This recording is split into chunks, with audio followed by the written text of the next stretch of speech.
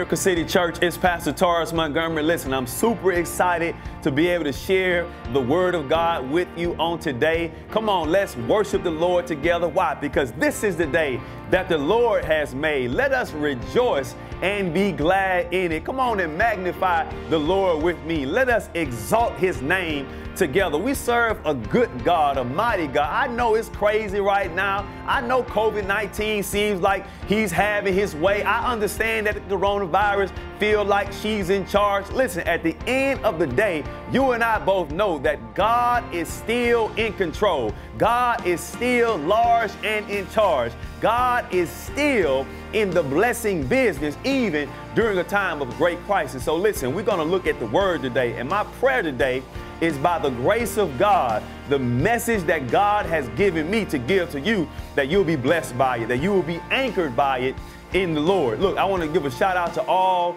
of our young people who are watching this right now. Listen, I understand that today is Youth Day. Come on, can we just can we just celebrate our young people real quick? Can we just celebrate our young people real quick? Just give God thanks and praise for them. Let's pray for them during this time. They're at home, they're still in school, taking classes online. So we want to pray for our young people that God will give them the ability to push on through, to stay locked in, to stay focused in spite of the different circumstances under which they are now learning. All right, so I want to lift up our young people in prayer. And then again, I want to shout out to uh, uh, uh, your pastor, my good friend, uh, Pastor David Franklin. Shout out to you and your family, man, for this opportunity to be able to share the word of God with you. Look, I want to get into my message today. Uh, I'm sure you watch the news, right? You can't watch it too much or you find yourself depressed, right? But but but I'm sure many of you are paying attention to the news. You're watching the news, and just recently, like this week, there were a number of protests happening all throughout the country, right? People are getting in their vehicles and descending on the capital of their state. And it just recently happened in the state of Michigan where you had like 4,000 people, right? 4,000 people showed up in Lansing, Michigan, and they were protesting. They had their signs up, they had their flags, they're honking their horn in their vehicles, in their trucks, in their cars. They're like taking to the streets and they're saying, listen, we need to reopen our economy. I understand COVID 19 is, is, is, is doing what it's doing, but we need to get back to work again. We need to start back working. We need to get back, you know what I'm saying? Like they they are they are raising their voice, they are protesting this issue, and you wonder, you ask the question, like, wait a minute, man, these people got, you know, we've got stay home orders and people are outside still. Like, what's what's the deal with that? What's going on? Can I tell you something? Can I tell you something? Here's what, here's what, as I looked at that situation and I started thinking about the fact that the reason why they can go out and protest, the reason reason why they can go out and have their, their signs up and nobody get arrested. Why? Because in America, hear me now, as a citizen of the United States of America, you have certain rights and they understand their rights. You have the right to, uh, to freedom of speech. You have the right to remain silent. You have the right to worship whoever you want to worship, however you want to worship. You have certain rights in the United States of America. You have the right to a, a, a, a, fair trial. There are certain rights that you have as citizens of these United States of America. And I stopped by here to tell you today that as a citizen of the kingdom of heaven, you have certain rights. You have certain rights that God has given you. And the first right that you have, the Bible says in John chapter 1, verse 12 and 13, that he came to his own and his own did not receive him. But those who received him and those who believed on his name, he gave them the right to be called the children of God. You are a child of the king, and with being a child of the king and a citizen of the kingdom, I stopped by to tell you today that you have some rights. And what the enemy wants to do is the enemy wants you to operate in a spirit of fear. He wants you to operate in a spirit of worry and anxiety and stress so that you do not exercise those rights in the moment of crisis, so that you do not exercise those rights when chaos is going on. But I stopped by to tell you today, listen, God has a word for his people, and I've entitled this message, Show Me your ID, or rather, where is your ID? Do me a favor, bow your heads and close your eyes as we go to the Lord and ask His Spirit to bless our time together. Father, in the mighty name of Jesus, Lord, we are grateful for the privilege and the honor of being your children. Lord, the reality is, is that some of us don't fully understand what that means. And Lord, it's my prayer today that the words of my mouth and the meditation of my heart will be acceptable in your sight and encouraging to your people and help us to understand what it means that we are now in Christ, oh God, and how that how that how that uh, carries out in our everyday lives, Father. Bless us, I pray, in Jesus' name. Let the people of God say amen and amen. Where is your ID? It was a night I'll never forget. I'm riding in a vehicle. I got some friends in the car with me. And as we're driving, you know, we got the music playing, we're doing our thing. I'm just 16 years old at the time. And all of a sudden, I see blue lights flashing in my rear view mirror. You already know what time it is. I'm just driving now, and you know how when you see the police behind you, you kind of ease off the gas a little bit. So I ease off the gas a little bit, and slowly but surely, he began to signal to me with the little whoop, whoop, whoop, right? You know, not just, not only do you have the, the flashing lights going on, but you got the, the noise coming out now, the sirens coming out now, and I know that he's talking to me to pull over, right? So I pull over to the side, and as I pull over to the side, stop the vehicle, put it in park, the officer now is approaching the vehicle. And as he's approaching the vehicle, he knocks on my window, asks me to roll the window down, and the very first thing he asks me for, of course, is, where is your ID? Right? Now, here's the thing, guys. Here's the thing. When I rolled down the window, he asked me, Where's my ID? Unfortunately, I didn't have any ID. I'm 16 years old. I'm legally able to drive, but you have to have some driver license, right, to be able to identify yourself in moments like these so that you don't get a ticket or go to jail or whatever, right? So I didn't have any ID, right? But unfortunately, what I did was being immature, being young, I gave him some fake ID. I didn't give him a fake ID card, but I gave him a fake name. I know, I know, I was young, all right? He go back to his car, pull out the laptop, right? You looking in the mirror, you know what I'm saying? You just trying to, you hoping. And look, I'm just knowing now I'm about to get in trouble. I'm about to go to jail. My mama gonna be mad at me. My daddy gonna be mad at me. I'm gonna be in jail with the grown people. Like, man, I, am too young. I'm too skinny to go to jail, right? So I'm, I'm all, I'm all nervous and afraid. And as I am waiting on the police officer, I'm telling my, my boy, man, y'all be quiet, shut up, you know what I'm saying? Nobody say nothing, right? Now, we weren't doing anything, like we didn't have any, any drugs or anything like that on us in the car, but, but the fact that I didn't have any ID and I gave him a fake name, I'm, I'm, I'm scared now, right? So he come back to the car. And when he get back to the car, he asked me to step out, right? I step out of the vehicle, and listen, guys, he looked me dead in my face. And he said, you're free to go. I said, free to go? You, you, you're free to go. Now, listen, guys, listen, listen. While I may have been happy and excited to get back in my car and drive off, which I was, right? As I reflect on that experience, as I look back on that situation in my life, I realized that there was a moment of tragedy and the reason why it was a moment of tragedy is because somewhere deep down within, I began to think that I can go through life, and when life pulls me over, when situations happen, I don't have to know who I am. I can make up some character and be somebody else. In other words, I began to live my entire life from 16 to 19, really uh, uh, uh, operating outside of who I really was. And when you don't know who you really are, it's easy to start smoking. It's easy to start drinking. It's easy to get to partying all the time. It's easy to want to put on so you can be accepted by other people. It's easy, listen to me, it was easy for me to fall to the devil's traps and temptations. Why? Because I didn't know who I was. Now, I imagine that there are some young people right now. I imagine that there are some adults right now who are living a life that's not really who you are. It's not really who God created you to be. You're not operating in your true self. You're not operating in your authentic self. You are not living according to the person that God shaped, the person that God had in mind when He created you. You are living a lie. You are living with somebody else's ID. And I stopped by to tell you today that God didn't give you that ID. The enemy gave you that ID. It's time to exchange it for some new ID.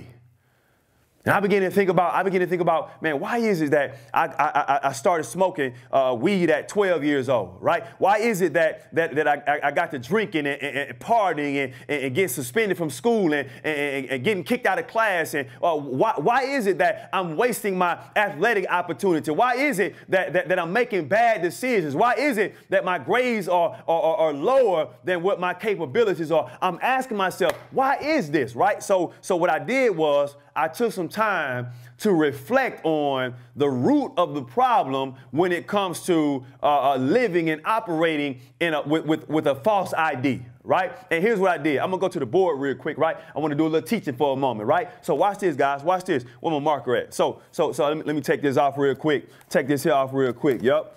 And then I got, we're gonna get to the root of the problem because I wanna show you, all right? I wanna show you some things so that so that you'll know how to deal with it, all right? So my my my my, art, my artistry, right? My artisticness, uh, uh, put the stick man figure up here, okay? We're just gonna with the stick man today, all right? So listen, so here's what happened, guys. What happened is when you were a baby, right? When you were a baby, or during your adolescent years or your teenage years or even during your adulthood, right? This is kind of like the cycle of life or the se- or seasons of life, all right? And so this is you right here. This is me right here. So here's what happens. What happens is the people, the environment, and the experiences that we have, they end up shaping us into thinking a certain way, believing certain things about ourselves, and oftentimes those things are not things that God has said about us. Okay? So let me let me let me let me break that down a little bit. So when we talk about people, right? These people. There were people who poured into you, right? And sometimes the things that they poured in were poisonous to your identity. In other words, in other words, there were things that your mama said. There were things that your daddy did. There was something that your uncle did to you. There was something that your auntie said to you. There was something that the bully spoke to you. There was something that happened in your teenage years or your adolescent years or your adult years that began to shape your thinking about yourself. And those things were lies influenced by the enemy. Yep, yep, yep. Or maybe it wasn't the people, maybe it was the environment right? Maybe it was the environment that you grew up in. Maybe, maybe the household that you grew up in, it was a household where everybody was bitter, everybody was anger, bunch of negativity. Maybe it was a neighborhood where it was gang banging, it was, it was, it was, it was violence, it was drug infested. And the way that people dealt with issues was they used violence, they used anger, they used aggression to solve their problems. So you want to fight anytime somebody, something happens, right? You want to give somebody a piece of your mind every time something happens, right? That's because that's because this this influence your your thinking about who you are. So you you you call yourself a fighter, right? Not in a positive way, but in a like I want to put them up and I want to swing on somebody way, right? So so or, or maybe you've had now some experiences that that some things that happened, somebody took advantage of you. You were molested, or your parents may have abandoned you when you were a child. They put you up for adoption, and so you feel like nobody loves you. You feel unlovable. You feel like you don't have any worth or any value in your life. And so as a result, now you have, watch this, guys, you have all of these, you have all of these. Uh, uh, uh, negative and faulty beliefs about yourself. And this is what these things do, right? This is what these things do. These things right here, they give you a set of, watch this, they give you a set of, of lens. Putting the glasses on, you probably can't see the glasses, but I got something for you, right? They give you a set of lens whereby you view the world whereby you interpret life. So, so, so let me give you an example right here. Let me give you an example right here, right? So I got these lenses right here, right? So, so, ooh, come on now, come on, come on, come on. Now watch this, watch this. What happens is, what happens is, now, now, now, I'm looking at because of these things right here, right? These things have shaped my perspective. They've shaped the way that I look at life, the way that I view life, the way that I, so so now, so now when I get into a relationship with somebody and the relationship is not working out, I'm not seeing eye to eye to that person. It's usually because that person has a different set of lenses on than you do.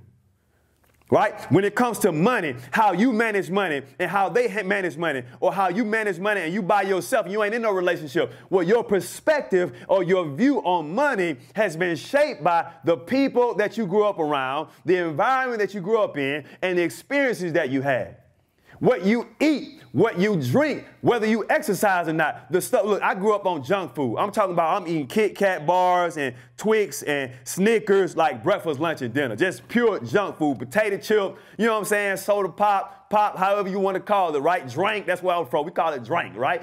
So, so, so, so now, so now every, listen to me, every aspect of my life is being shaped now by these things right here right? And that is where your identity comes from. That's where who you are is developed. And if you had some jacked up experiences right here, if you had some bad experiences right here, if you had if all of this in your life was just bad, then guess what? You're going to have a very bad perspective. Now look, here's the crazy thing, right? Here's the crazy thing while I may look cool and fly, you know what I'm saying? I got my shades on or whatever, I'm, I'm, rocking it out. While I may look like I'm having fun, I'm in the party all the time, I keep some money in my pocket, right? The reality is, deep within, I'm still hurting. The reality is, is that deep within, I'm, I'm, I'm frustrated. Deep within, I don't value myself. Deep within, I, am I'm, I'm, I'm, I'm, I'm, I'm angry with the world. And here's the thing, guys. Here's the thing. The good news, come on, somebody say the good news. The good news is that is that Jesus, come on, say amen. Jesus, Jesus, when he died on the cross, right? When he died on the cross, we're to put Jesus on the cross right there, right? Stretch them arms out. Boom, boom, nailed to the cross. When Jesus died on the cross now, what Jesus does, well, even before he died on the cross, what Jesus does is Jesus lived a, uh, a, a, life from a baby, right, uh, to his adolescent years. Oh, come on, to his teenage years, come on, to his adulthood, right? And all of it, hallelujah, all of it was perfect. All of it was flawless. He had a life that he lived. He had some teachings that he taught, right? And, and, then, and then he sacrificed himself. And here's what he says. He says, hey, listen, Tars. He says, hey, listen, Miracle City. He says, hey, listen, Harbor of Hope. He says, hey, I want you to listen to me. I want you to hear me. I want to make an exchange with you.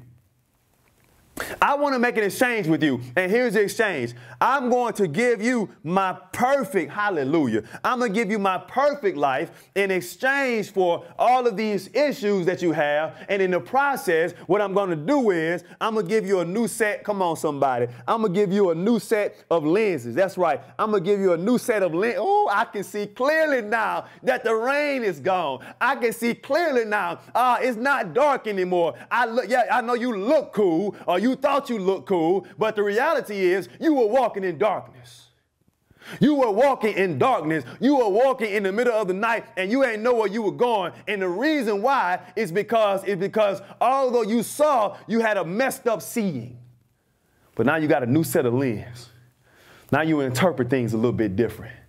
Now your view is a little bit not now you not now you're not getting frustrated in the relationship when the person don't see things as you see it because both of y'all not see it as Christ see it. Come on, say amen. Now when you look at money, you understand that it's not just for trying to keep up with the Jones. It's not for that at all, actually. But uh, uh, uh but but but it's for it's for the building up of the kingdom of God. It's for taking care of my life's necessities. It's for being a blessing to other people. Now when I look at when I go to the grocery store, I'm going to the produce section. Come on, say amen. I ain't, I, am not, I'm not in the junk food section anymore. I'm going to, uh, to, to, to, to, uh, to feed my body those things that are going to bless my body and my mind and my spirit so I can be healthy for the glory of God.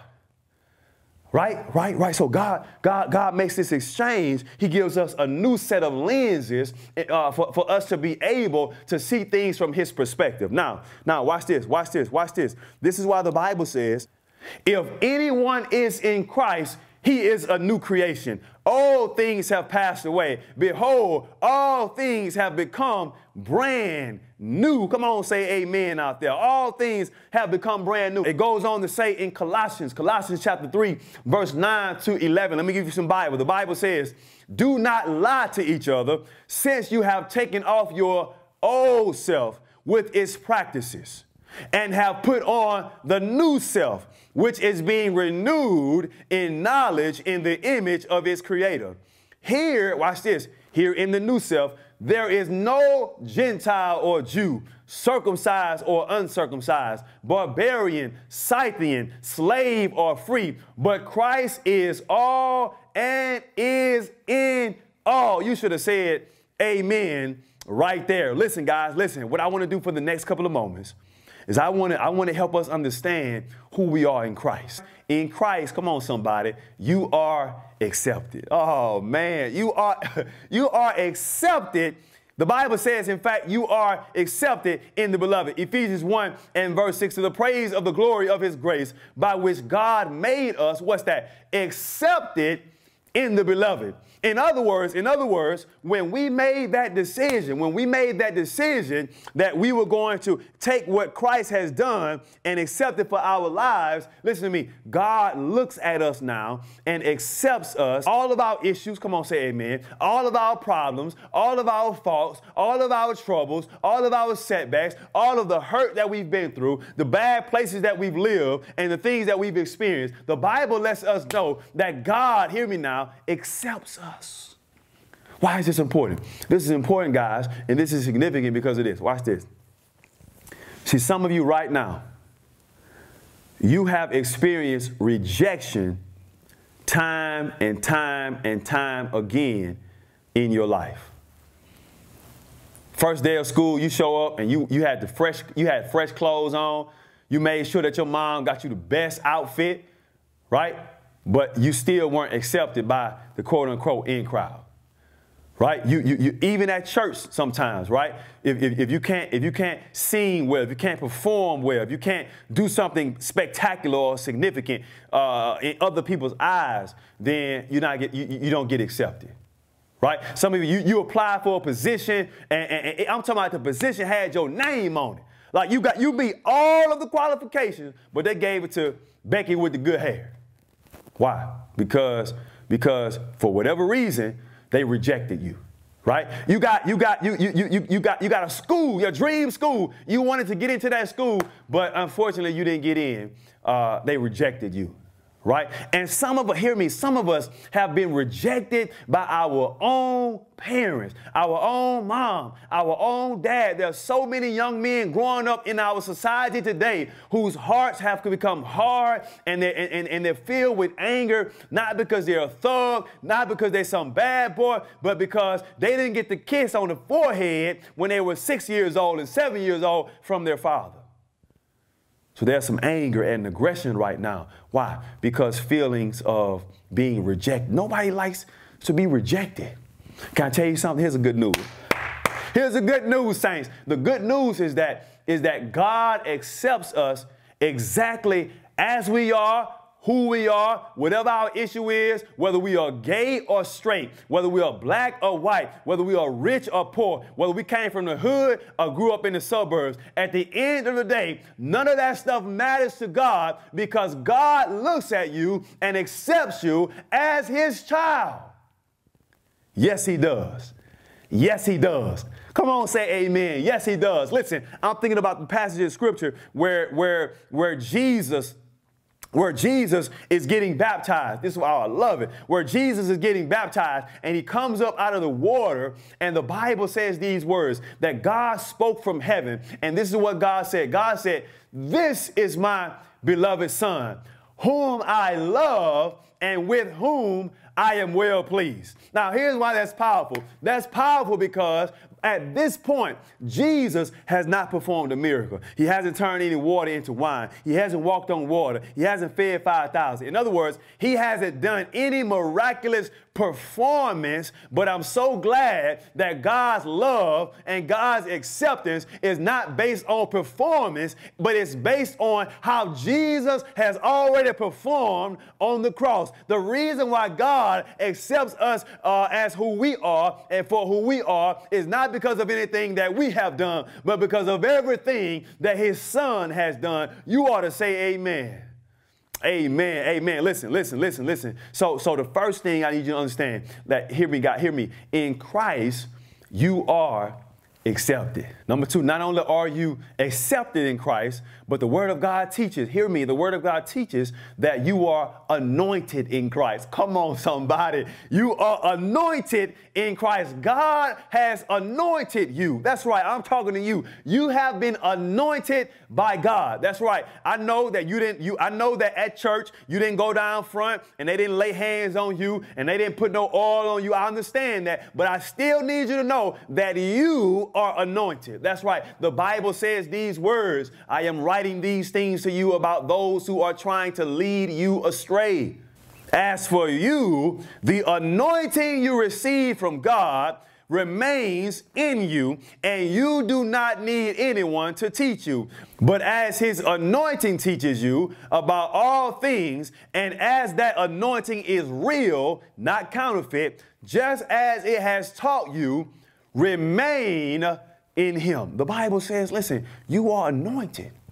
Do you understand what it means to be anointed? To be anointed means that, that to, to, to, be, to be set apart for a special use, to be set aside for a special purpose. God, listen to me, God has placed his hand on you, God has chosen you, and God has anointed you. And that anointing is not just with oil, but that anointing is with the Holy Spirit. God, hear me now, God has given you the Holy Spirit, and God says that the Holy Spirit will teach you and show you and guide you and lead you in all of your decision making and help you understand who you are with this new identity that you have in Christ. Listen to me, listen to me. When you have the Holy Spirit, hear me. When you have the Holy Spirit, you have you have authority, you have power, you have you have wisdom, you have you have you have everything that you need. The Holy listen, the Holy Ghost is the secret weapon. The Holy Ghost is a secret weapon. I, I, I remember, I remember that there was this, was, that was this commercial they used to come on when I was uh, when I was a little younger, right? And, and and and I remember watching this commercial. You know, everybody used to watch this commercial, right? It was a it was a commercial, uh, a, a, Gatorade commercial, uh, and, and they should sing this song, right? Uh, about Michael Jordan, right? Like Mike. If I could be like Mike, sometimes I dream that he is me, and you got to see that's how I dream to be. Sometimes uh, she I, I dream I move, I dream I groove like Mike. If I could be like Mike, but hear me now. In the center of this commercial in the center of this commercial, what they're trying to do is they're trying to sell you this Gatorade. They're trying to sell you this Gatorade because the Gatorade, hear me now, the Gatorade is the thing that Michael Jordan is drinking all throughout the commercial while they're doing these moves and while they're uh, while he's grooving and flying through the air. Michael Jordan is, is, is, is drinking this Gatorade, and the Gatorade, hear me now, the Gatorade now is, is, is supposed to give you the, uh, uh, it's supposed to quench your thirst. Uh, it's supposed to re-energize you. It's supposed to get you back to going when you get exhausted. I'm here to tell you today that the Holy Ghost is what God has, has, has, has, has, given to his people. And at the end of the question uh, with the Gatorade uh, uh, uh commercial, uh, they asked the question, uh, is it in you? Is the Gatorade in you? Have you consumed the Gatorade? Have you taken in the Gatorade? I stopped by to ask you today, have you taken in your anointing and the meaning of that anointing that God has placed in your life and placed on your heart and given you the power to overcome sin, the power to have victory in your life, the power to overcome pornography, the power to overcome uh, negativity, the power to break bad habits, the power to get rid of bad people in your life. The Holy Spirit has anointed you. Have you received the anointing?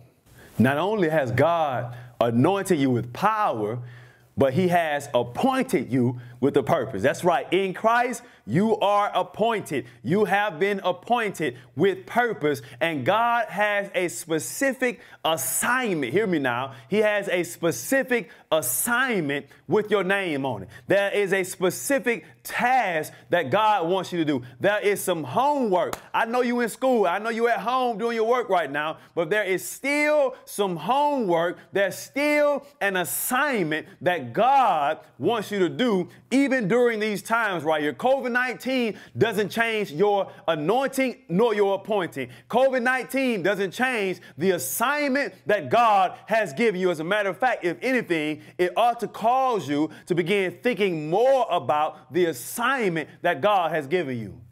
You have been anointed and appointed. Let's look at what the word of God says. The Bible says these words in 2 Corinthians chapter 5 and verse 20. We are therefore Christ's ambassadors, as though God were making his appeal through us. As though God were making his appeal through us. Isn't that amazing? Like God, God decided, God said, listen, God said, I'm going to use you. I'm going to give you First of all, I'm going to accept you, uh, and, and, and, then I'm going to anoint you with power, and then I'm going to appoint you with purpose. I have an assignment for you. I remember when I first given my life to God, right? First given my life to God, brand new Christian, about three day old Christian, right? And I'm in my dormitory room, and, uh, you know, prior to this, I'm wilding out at the club with my friends. I'm partying, getting sloppy drunk, just all kind of crazy stuff, right? Not living my purpose because I ain't know who I was, right? But when I made that decision to give my life to Christ, to take on his new identity, what happened was, I remember one night, guys, listen, I was in my room. And it's, it's late, like probably one o'clock, two o'clock in the morning.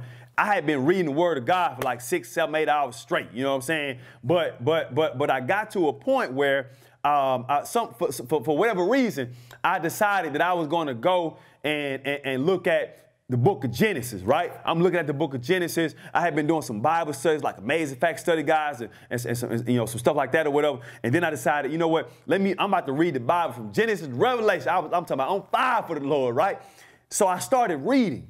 And as I started reading, I came to the verse, Genesis chapter uh, 1, verse 26, 27. And the verse says, Let us make man. Now, listen to me. I'm a brand new Bible uh, uh, uh, reader, right? I'm a brand new Christian, three days old, walking with the Lord. And I get to this part that says, Let us make man. I'm confused.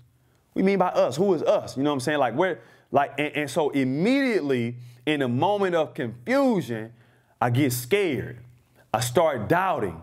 And the moment I started doubting, I just felt like the enemy was just like standing over me and start speaking all kinds of doubt and negativity into my mind, into my spirit, into my soul, to the point where I was on the verge of just quitting and giving up on God. And then the Holy Ghost hit me, and listen to me, guys. I dropped down on my knees in my room and I started crying out, God, please, Please help me, God. I don't want to go back to that lifestyle. I, I don't want to abandon you, God. You've been so good to me, God. Please, God, help me. Give me understanding, God. Listen to me. I did that, I don't know, 30 minutes, 40 minutes. I'm just crying out to God. And by the time I got up, oh man, by the time I got up, I walked outside of my dormitory room to go use the bathroom in the hallway. And as I get out in the hallway, I see two guys, they out there shooting dice. Now, I used to shoot dice with them all the time. So they asked me, they say, yo, T, man, come get on this dice game with us. And I looked at them guys, I said, man, listen, you know, man, I don't, I don't gamble no more, man. You know, I said, gambling is a sin. I didn't even know what gambling is a sin. I just said it, right? I said, gambling is a sin. They was like, for real? And they was like, yeah. And I said, look, and, and, and I said, matter of fact, man, you know what I'm saying? The word of God, God wants you to use your money to do something positive rather than you, you know what I'm saying? I, I don't know what, I, I just told him something. You know, I'm, I'm three days, I'm three day old Christian, so I'm just speaking what I know, right? And watch this, guys that conversation, oh man, that conversation went from me talking to two guys and them asking me questions about the word of God to four guys. And then it went from four guys to, to, to, to, eight guys. And then eight to 16. And by, listen to me, by the time, you know, within an hour or so, the whole dorm, the whole boys' dorm, they right there sitting on the step. Some sitting on the step, some sitting on the floor, some standing up, some posted up against the wall. And I'm just, I'm just sharing. Watch this. Everything that I had learned from those six, seven hours of reading and studying, amazing fact study. I'm talking about I'm letting them have. I'm I'm I'm I'm, giving them my best uh, uh, uh, uh, CD Brooks, my best Doug Batchelor question and answer thing going on. I'm just a three day old Christian, and they stand up there listening to me and looking at me. And watch this. When it was all said and done, I prayed with them, and they go back to their dorms. They dapping me up like, man, I appreciate that, man. I receive that, man. Man, God bless you, bro. What you doing, man? I see the change made in your life. You look like you're a whole different person, a whole new person. And when I go back into my dormitory room, when I go back in my room, I close my door. I'm talking about, I'm praising God. I'm blessing. God, and God says, Listen, son, this is your appointment. This is your purpose.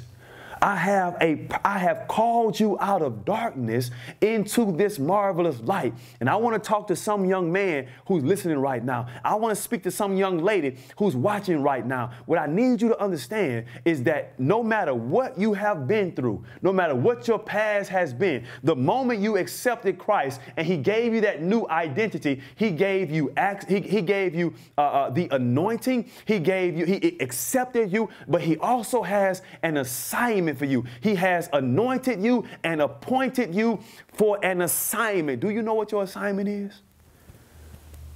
Are you fulfilling that assignment? At the end of the day, can I tell you what your assignment is? At the end of the day, your assignment, hear me, your assignment is to serve. That's right. That's right. I don't know who, I don't know what people group you're serving, but your assignment is to serve. Maybe it's single mothers in your community. Your assignment is to serve. Maybe it's young men growing up without a father. Your assignment is to serve. Maybe it's young men in prison, older men in prison. Your assignment is to serve. Maybe it's little kids teaching them about uh, uh, uh, uh computers. Uh, your your assign. I don't I don't I don't know what your assignment is or who the people group is. But what I do know is that God has anointed you and appointed you to serve for his kingdom. Paul says, We are therefore Christ's ambassadors, as though God were making his appeal through us. And finally, here's the last one. In Christ, you have access. Ooh. In Christ, hear me now, hear me, hear me. In Christ, you have been given access. You've been given access. What do I mean by that? Let me let me let me show you something real quick, right? So so not too long ago, right? Well, this happened like last year or sometime. Uh, uh, I had the chance to go to a uh, to an NBA basketball game, right? And, and and when I get to this NBA basketball game, I didn't go. Hear me now. I didn't go uh, with, with regular tickets. You know what I'm saying? I didn't go with regular tickets. Uh, I went uh, with a pass, right? I had a pass, and the pass has uh, a name on it. Come on, somebody. It has a name on it of one of the players who played for the Chicago Bulls, right? So, so when we show up, not, not having gone to a Chicago Bulls game before, when we show up, I go into the to the main entrance, to the main door, one of the main doors, and I go to the counter and I ask the people, you know, how can I, you know, where, where do I go in at? And they said, I'm sorry, sir, but uh, but you came in the wrong way, right? There's another way. You go out, you go, you, you exit out here and you go around here. There's a there's a there's a there's a special place uh, uh, for people who have that kind of pass that you have. Are you listening to me? And so we go now, we go now, and when we go around, we bypass a whole bunch of people. We get to go to a specific location, a specific spot. And here's the thing, guys. Here's the thing. As I'm going through now, as I'm going through now, the people who are looking at me, when they see, oh man, when they see the past that I have, they give me access to what other people around me going to watch the same game, but they don't get the same access. Hear me now. They don't, they, they're going to watch the same game, going into the same building, but they don't have the kind of access that I have because of the past that I have, because of the name, hear me now, because of the name that's on the past. It's not my name on the past, but it's the name of the player who has the authority, who has the power to give me a pass that I can bypass some stuff that other people have to go through that I don't have to go through. Why? Because I have access uh, to the past. Come on, because I have the past. I want you to understand that God has given you a pass, and that pass has granted you access. You don't have to deal with the coronavirus the same way that the people who don't confess Jesus Christ as Lord are dealing with the coronavirus. You don't have to have the fears. You don't have to have the worries. You don't have to have the anxieties. You don't have to have all the issues that come along with living in this crazy world. You don't have to have all of those experiences. As a matter of fact, God looks at your past and says, I've given you a new past, and the new past gets you new identity, and the new identity gives you some authority and some access that everybody else don't have. Why? Because you're my child. And if any man be in Christ, he is a new creation. All things have passed away. All things have become brand new. The Bible says, watch this, watch this. I want to I want to put some Bible on this. The Bible says, the Bible says, according to the eternal purpose which, which he accomplished in Christ Jesus our Lord, uh, in whom we have boldness and access with confidence through faith in him. Ephesians 3, chapter 11 and 12. Where is your ID? Where is your ID? I remember I had to go get some new ID because my old ID expired. I said, "Ooh, that's a word right there. My old ID expired. My old life expired. Your old life expired. When you decided to give your life to Jesus, can I tell you something? Your old life expired. All that stuff that you've been expired. Where is your ID? It's my prayer that your ID, that your identification, that your identity is found in none other than our Lord and Savior, Jesus the Christ. Listen, I have a resource for you. It's free, absolutely free.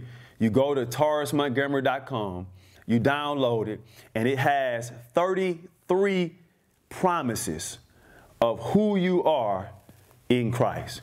33 promises of who you are in Christ. Access it, download it, read it, believe it, receive it.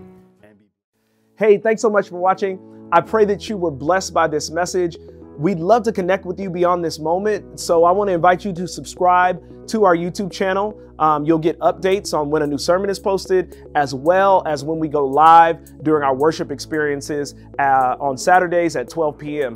Uh, also, you can connect with us on social media. You can go to Facebook or Instagram and look for Miracle City Church. And on Twitter, you can find us at Miracle City Life. We really do believe that God's doing something special in this congregation and in this family. And we're so blessed that you've chosen um, to connect with us. And if you've been blessed and you want to be a blessing, we invite you to go to our website. You can find all the information for giving there by going to miraclecitychurch.org slash give. And we know the Lord will bless you for your generosity. Thanks so much for being part of what God is doing here, and we pray many blessings on your life.